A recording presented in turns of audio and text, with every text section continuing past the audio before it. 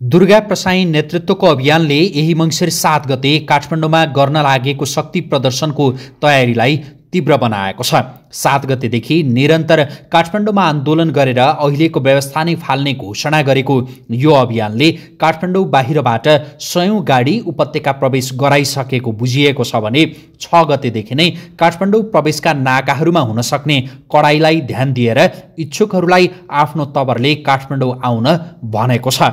अहिले विभिन्न जिल्लाबाट सार्वजनिक बसदेखि लिएर रिजर्भ गरिएका सवारी साधनमा दुर्गा प्रसाई नेतृत्वको अभियानका लागि धमाधम मान्छेहरू आइरहेको बुझिएको छ।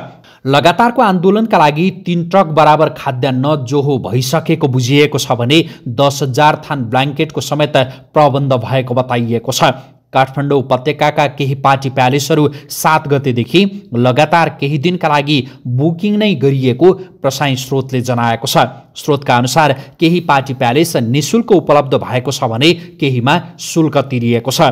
धर्म संस्कृति जोगाउनका लागि भनिएको यो आन्दोलनमा आउनेहरूलाई ओमकार झण्डा प्रयोगका लागि आग्रह गरिएको छ।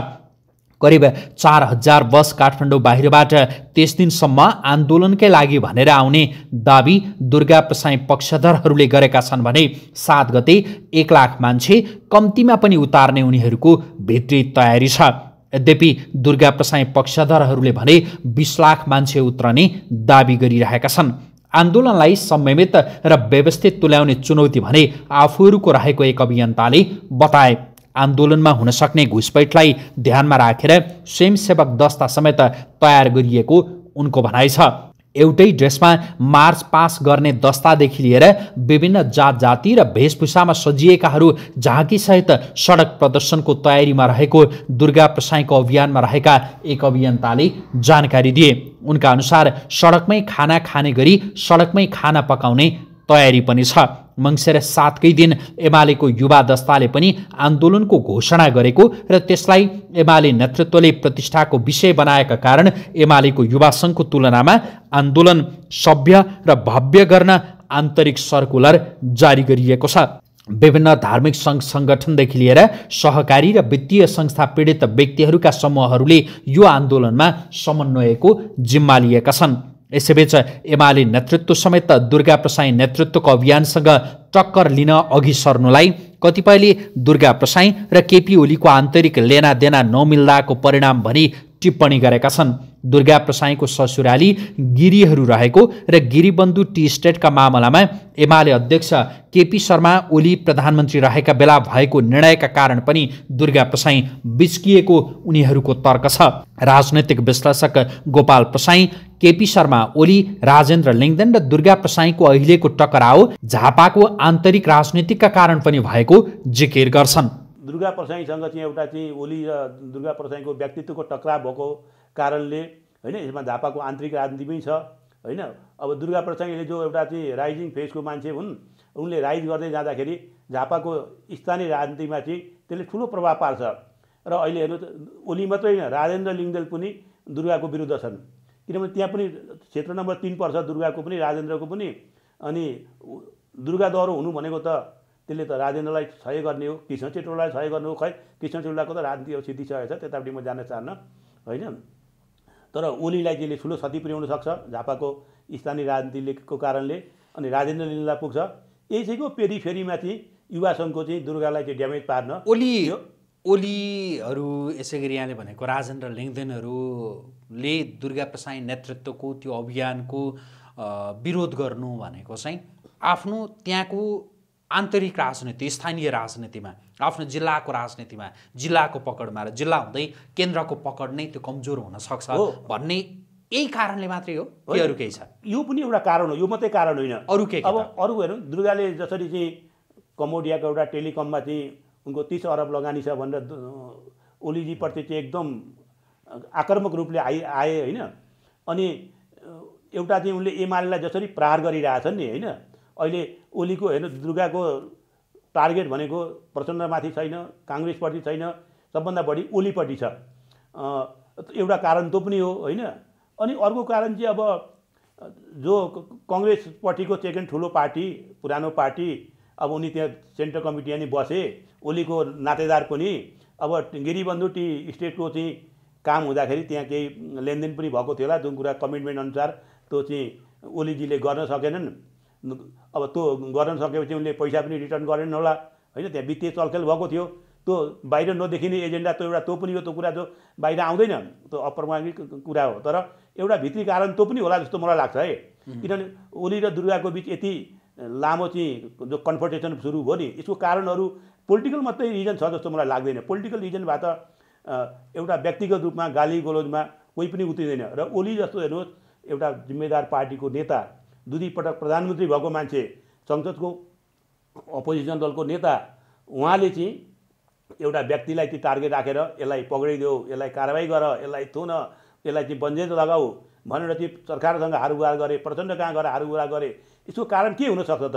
पोलिटिकल विरोध भनेको सबैले सबैले गर्छ सबभन्दा ठुलो विरोध त काङ्ग्रेस एमालेको छ नि माओवादी छ नि। दुर्गा प्रसाई त अहिले एउटा व्यवसायी हुन् एउटा चाहिँ व्यक्ति न हुन्। एउटा व्यक्तिको विरुद्ध एउटा चाहिँ सिङ्गो पार्टी किन लागिरहेको छ त? होइन? यो आफैमा एउटा उद्वेग लाग्दो र एउटा रहस्यमय क्वेसन हो नि। होइन? एउटा व्यक्तिको विरुद्ध भनेको ओली र दुर्गा प्रसाईका बिचमा के आर्थिक लेनदेन छ? र त्यो आर्थिक लेनदेन का कारणले चाहिँ त्यो व्यक्तिगत दुश्मनी तवरले उनीहरू गिरिबन्धु होइन? अब उनीकै नातेदार दुर्गाजीकै नातेदार चचुराली खलक हुनु गिरिबन्धुहरू। त्यहाँ चाहिँ हदबन्दीको जग्गा चाहिँ टी गार्डनलाई चाहिँ चट्टा भर्नाको जो पद्म अर्याल भूमि सुधार मन्त्री हुँदा ओली प्रधानमन्त्री हुँदा त्यो प्रस्ताव लगेको थियो त्यो प्रस्ताव पास पनि भयो तर पछि पब्लिकको यति जनविरोध भयो नि त्यसलाई चाहिँ थ्याक्न नसक्ने भएर ओलीजी त्यसबाट ब्याक भए र त्यतिखेर जो गरेका कमिटमेन्टहरू त्यो कुरा भएका थिए लेनदेन कुराहरू ती कुराअनुसार कमिटमेन्ट छ काम भएनन् त्यो नभएपछि यो चाहिँ व्यक्तिगत रूपमा चाहिँ थपिँदै गयो र चुनावमा उनले टिकट पनि पाएनन् तिन नम्बरबाट मागेका थिए। झापाको तिन नम्बरबाट टिकट दिने बित्तिकै उता राजेन्द्र लिङ्गदेसँग चाहिँ गठबन्धन टुट्ने राजेन्द्र लिङ्गदेसँग गठबन्धन टुट्ने बित्तिकै त्यसको चाहिँ राप्रपाको राम्रो प्रभाव भएको हो क्षेत्र नम्बर पाँचको दमक एरिया त्यहाँको मेयर पनि राप्रपाकै छन्। अनि ओलीलाई चाहिँ स्थानीय चुनावमा त्यसले चाहिँ ठुलो धक्का पुग्ने यो पार्लियामेन्टको चुनावमा भएको हुनाले यो गठबन्धन चाहिँ कायम राख्न पनि के अरे दुर्गालाई टिकट दिन सकेनन् उनले। त्यो पनि थपिँदै गयो। यो गृहबन्धु टी स्टेटको कुरा यो टिकटको कुरा यी हुँदै हुँदै चाहिँ कन्फर्टेसन बढ्दै बढ्दै गएर आज यो अवस्थामा आएको नै हो। अनि अब जस्तो यहाँलाई चाहिँ के लागिरहेको छ जस्तो दुर्गा प्रसाईले जुन कतै राज संस्था हिन्दू राष्ट्रको पनि आवाज उठाइरहेको र कतै चाहिँ त्यो विषय उठाउनु भएन भनेर पनि केहीले भनिरहेको स्थिति छ होइन। दुर्गा प्रसाई राज संस्था र हिन्दू राष्ट्रका लागि लडिरहनु भयो होला अगाडि बढिरहनु भयो होला या अरू केही कारण होइन उनका धेरै मागहरूमध्ये एउटा त्यो पनि माग छ। त्यो कति जस्तो यति बेला अघि तपाईँले राजेन्द्र लिङ्गदेनको कुरा गर्नुभयो राप्रपाले राप्रपा नेपालले चाहिँ दुर्गा प्रसाईले प्रष्टसँग राज संस्था र हिन्दू राष्ट्रको त्यो एजेन्डा अघि सार्नु भएन त्यो भएर भौतिक रूपमा हामी उहाँको आन्दोलनलाई समर्थन गर्न सक्दैनौँ नैतिक समर्थन भन्ने त छँदैछ भनेर उहाँले भन्नुभएको छ। त्यो राजेन्द्र लिङ्गदेनको चाहिँ अलिकति दैध्य दोहोरो चरित्र हो हेर्नुहोस्। एकातिर म राजा पनि मान्छु भन्ने फेरि दुर्गा प्रसाईको आन्दोलनलाई समर्थन पनि गर्न सक्दिनँ उहाँको क्लियर छैन भने क्लियर चाहिँ के छ त? र यसमा मूलभूत कुरा झापाको इन्ट आन्तरिक राजनीतिले चाहिँ भूमिका ठुलो निर्वाह गरेको छ। आन्तरिक राजनीतिकोले पार्ने प्रभाव त्यसको चाहिँ आउने बासिटा त्यसले चाहिँ ल्याउने पराकम्पको कारणले राजेन्द्र लिङ्गदेले समर्थन नगरेको हुन् होइन? र उनी एउटा ओलीसँगकै गठबन्धनमा छन्। भोलि यो सरकार विस्थापित भएर अर्को सरकार बन्ने हो भने ओलीकै समर्थनमा सरकारमा जानुपर्छ कि भन्ने उनको रणनीति पनि होला। हिजो गएकै पनि हुन्। यी अब कुराले गर्दा दुर्गाको आन्दोलनलाई राजेन्द्र लिङ्गदेनको समर्थन नरहेको हो। कमल थापाहरूको चाहिँ के होला त? कमल थापाहरू त नैतिक रूपमा समर्थन गर्ने भनेको छ। म कमल थापाको बारे धेरै कुरा गर्न चाहन्न किनभने उनी नेपालको राजनीतिको सबभन्दा अस्थिर पात्र हुन् होइन? र कुनै अनैतिक को अनैतिक शब्दको अर्को पर्यायवाची रूपमै कमल थापा हुन्। होइन? त्यसले गर्दा उहाँको बारेमा धेरै टिका टिप्पणी गर्न चाहन्न र उहाँको कुनै त्यस्तो ठुलो प्रभावकारी अहिले राष्ट्रिय राजनीतिमा केही भूमिका छ जस्तो पनि मलाई लाग्दैन। भनेपछि राजेन्द्र लिङ्गदेनको चाहिँ त्यहाँको जो राजनीतिलाई हेरेर उहाँले जुन ढङ्गले समर्थन गर्नुपर्थ्यो त्यो नगरेर विरोध गरेको भन्ने यहाँको ठाउँ त्यति हो। लोकल स्थानीय त्यो झापाको जिल्लाको आन्तरिक राजनीतिको कारणले त्यसको चाहिँ प्रभाव चाहिँ दुर्गा प्रसाईको चाहिँ भोलि राष्ट्रिय राजनीतिमा स्थापित हुँदा त त्यसले सबभन्दा बढी ड्यामेज पार्ने कसलाई त? लिङ्गदेनलाई होइन उनको चुनाव क्षेत्र एउटै होइन होइन? त्यस कारण हो नि त। उनको त्यो जुन प्रकारले जन उभाएर आइरहेको छ नि दुर्गाको पर्सामै पर्साईको पक्षमा हिजो मात्रै जनकपुरमा मलाई एकजना साथीले भन्दै थिए कि यहाँ घर घर दुर्गा हर हर दुर्गा घर घर दुर्गा भन्ने नारा लागिरहेछ। भनेपछि एउटा युवामा उनीहरूले एउटा त लहर त ल्यायो नि। हेर्नु सबभन्दा ठुलो कुरा के भने अहिले यो मल्टिपार्टी डेमोक्रेसीको पुनर्स्थापना भएपछि नेताहरू साह्रै बदनाम भए। जनतापट्टि साह्रै चाहिँ नेता नेतृत्वप्रति एउटा घृणा छ हेर्नुहोस् होइन? यो चाहिँ कस्तो पनि हाम्रा नेताहरू भनेको चाहिँ एउटा भारतमा यो पचासको दशकमा एकजना गोब्रा भन्ने डक्टर डाक्टर थिए। के अरे डाका थिए हेर्नुहोस् गोब्रा। पछि उनको चाहिँ फिल्म पनि बनाऊ के अरे रमेश सिप्पीले सोले भन्ने फिल्म बनाए। त्यहाँ गुल्सन के अरे गब्बर सिंह भनेर डाकुको पात्र थियो। त्यतिखेर नि त्यो गोब्रालाई चाहिँ मध्य प्रदेश सरकारले पचास हजार राजस्थान सरकारले दस हजार अनि युपीको सरकारले पनि प्राइज तोकेको थियो यसलाई पक्र्ने भन्ने। अब पचासको दशकमा गोब्रा के अरे असीको दशकमा फुलन देवी नब्बेको दशकमा चाहिँ वीरप्पन जस्ता डाकाहरू भयो नि त्यही स्वरूप चाहिँ भयो हाम्रा नेताहरूको। अहिले आम मान्छेले त्यो भन्न थाले हेर्नुहोस्। त्यसले जनतापट्टि राजनीतिक नेतृत्वपट्टि ठुलो फ्रस्ट्रेसन छ ठुलो एकदम एउटा चाहिँ माहौल छ घृणाको। के यो सबैको विकृति विसङ्गतिको सबैको जड चाहिँ अहिले चाहिँ यी नेतृत्व भए राजनीतिक नेतृत्व भयो भने राजनीतिक नेतृत्वपट्टि जनताको विश्वास छैन। त्यसको चाहिँ बेनिफिट चाहिँ दुर्गालाई अहिले कतिपयले के भन्छन् भनेदेखि जस्तो राजा राज संस्था हिन्दू राष्ट्रको त्यो एजेन्डा चाहिँ दुर्गा प्रसाईले बोकेर निरन्तर अघि बढिरहन सक्दैनन् भनेर भन्छन्। उनीहरूको यसमा भनाइ चाहिँ के छ भनेदेखि दुर्गा प्रसाईलाई मानिलिउँ उनको जुन मेडिकल कलेज छ त्यसलाई सम्बन्धन दिने हो भनेदेखि यो सबै छोडिदिन्छन्।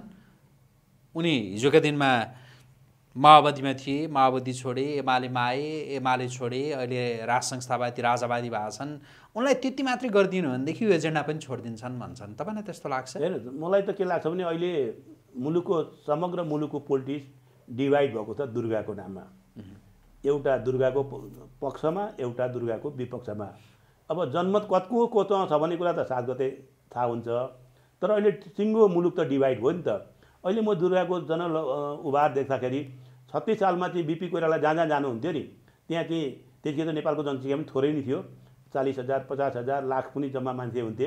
होइन अहिले दुर्गाको जहाँ जाँदा पनि क्रेज छ हेर्नुहोस्। त्यो मान्छेको भिड छ। एउटा चानो चाहिँ के अरे आशाको दियो भए पनि दुर्गाले ज जगाए। अब केही गर्छन् कि? र एउटा कुरा चाहिँ पक्कै के हो भनेदेखि अब यो मोमेन्ट पछि यो पछि अब यसरी मुलुक चल्दैन। मुलुकमा राजनीतिक केही चाहिँ शुद्धिकरण हुनैपर्छ वित्तीय अनुशासन कायम राख्नैपर्छ अब यो अहिले हाम्रो जो राज शासकीय प्रणाली छ नि यो फेलियर भयो। यसमा हेर्नुहोस् यो समानु समानुपातिक सिस्टमलाई चाहिँ हटाएर चाहिँ यसमा चाहिँ प्रत्यक्ष निर्वाचन चाहिँ महिला जनजाति आदिवासी अपाङ्ग यी सबैको प्रतिनिधित्व गराउने चाहिँ चुनावी प्रतिस्पर्धाबाटै गराउनु पर्ने चाहिँ व्यवस्था ल्याउनै पर्छ। यो समयको माग पनि हो। अब राजनीतिक शुद्धिकरण गर्ने बेला आयो र दुर्गाले प्रसाईको आन्दोलनले चाहिँ अब पार्लिमेन्ट्री डेमोक्रेसीमा चाहिँ रिथिङ्किङ गर्ने त्यसको चाहिँ शुद्धिकरण गर्ने त्यसलाई करेक्सन गर्ने बेला आइसक्यो। अहिले जो चाहिँ यो तिस बत्तिस वर्षमा जुन हामीले एक्सर्साइज गऱ्यौँ जुन प्रकारको चाहिँ अभ्यास भयो नि यसले चाहिँ यो पार्लिमेन्ट्री डेमोक्रेसीलाई नै एउटा विकृत बनाइदियो हेर्नुहोस् योभन्दा विकृत हुने ठाउँ छैन। अब यहाँ त हेर्नुहोस् के अरे एउटा कुरा संसारमा तपाईँले काहीँ पनि यो देख्नुभएको छ त्यो तपाईँले भोटै नहालेको मान्छेलाई चाहिँ के प्रतिनिधि सभाको लोवर हाउसमा चाहिँ लगेर मानिने बनाएको मानिने मान मानिनुपर्ने हामीले। ल समानुपातिक भए पनि त एउटा त अप्रत्यक्ष भए भोट हुन्छ नि। राष्ट्रिय सभाको पनि अप्रत्यक्ष भए पनि त्यहाँ भोटबाट गएका हुन्छ नि।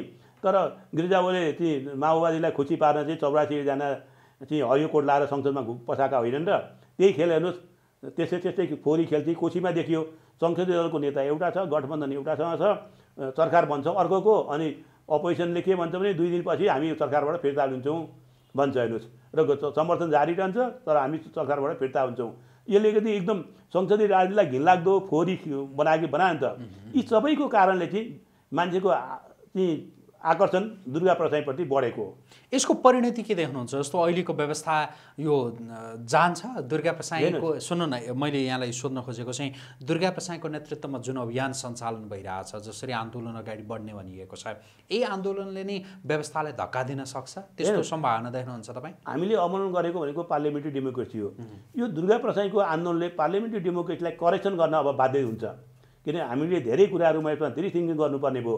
समावेशीमा समा समानुपातिकमा अनि हाम्रो चाहिँ धर्मनिरपेक्षमा होइन हामीले अवलम्बन गरेको आर्थिक नीतिमा होइन हामीले अवलम्बन गरेको वित्तीय नीतिमा यी के अरे ब्याङ्किङ नीतिमा यी सबै प्रणाली कुराहरूमा चाहिँ टोटल्ली रिथिङ्किङ गर्नुपर्ने अवस्थाको सिर्जना चाहिँ भयो।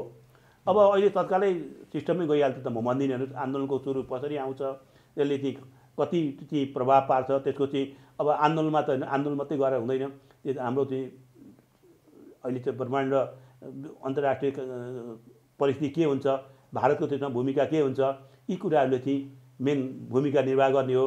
होइन अब बैसठी त्रिसठीको आन्दोलनमा हेरे हुँदाखेरि यहाँ डाक्टर करण सिंह आएका थिए होइन। उनीसँग आउँदाखेरि ज्ञानेन्द्र गिरिजा करण सिंहको त्यो सहमति हुँदाखेरि त्यहाँ राजा हटाउने त सहमति भएको थिएन होइन। त्यहाँ मात्रै तिनवटा कुरा सहमति भएको थियो।